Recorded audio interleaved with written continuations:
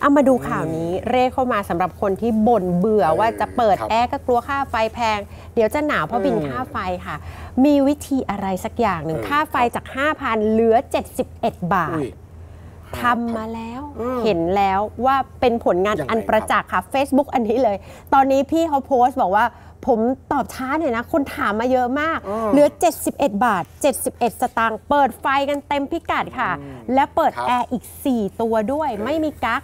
เหตุที่เหลือ 71 บาท เพราะนี่ค่ะอืมโซลาร์เซลคล์รับเขาติดตั้งแบบนี้ คุณหัตถนนท์หลักหลวงค่ะ เออย้ำเลยนะคะว่า Facebook นี้คุณผู้ชมเข้าไปดูค่ะ หัตถนนท์หลักหลวง มีคนบอกโอ้พี่ดังใหญ่บางคนเรียกอาจารย์เลยนะครัคะบ บางคนถามว่ามีวิธียังไงซื้อที่ไหนทั้งแบตเตอรี่ลิเธียมอะไรทำยังไงค่ะ คุณหัตถนนท์บอกว่าผมเนี่ยมีแอร์อยู่ 4 ตัวก็เปิดมันทั้งวันทั้งคืนเพราะว่าร้อน แต่คิดขึ้นได้ว่าเอ้ย เราเอางี้ดีกว่า เราทำเป็นโซลาร์เซลล์ติดมันบนหลังคานี่แหละ แดดเบอร์นี้ละยังไงมันน่าจะได้ไฟโซลาร์เซลล์แบบคุ้มค่า ครับแต่ลงทุนไปก่อน งบลงทุนคือ 3 0 0แสนบาท แล้วก็นั่งรอบินค่าไฟเลยค่ะ พอติดระบบทั้งหมด อ๋อ เต็มที่แล้วครับรอดูซิว่าจากค่าไฟ 4 5 0 0 0 บาท จะเหลือกี่บาท พอบินค่าไฟมา โอ้โห กรี๊ดกันทีเดียวค่ะ เหลือ 71 บาทจริง ๆ ดิฉันต้องออกตัวว่า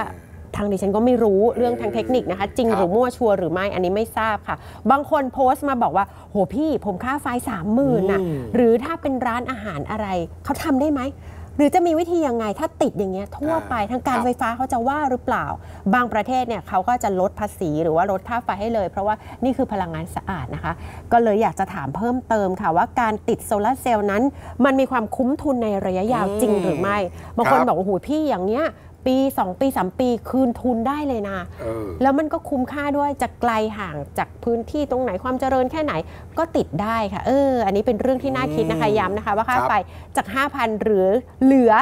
71 บาทเออพี่หัดสนนท์เขายืนยันอยู่ใน Facebook ค่ะ ลองเข้าไปดูกันนะคะ ครับอ่าเป็นทางเลือกนะครับสำหรับคนที่อยากจะใช้นี่นะ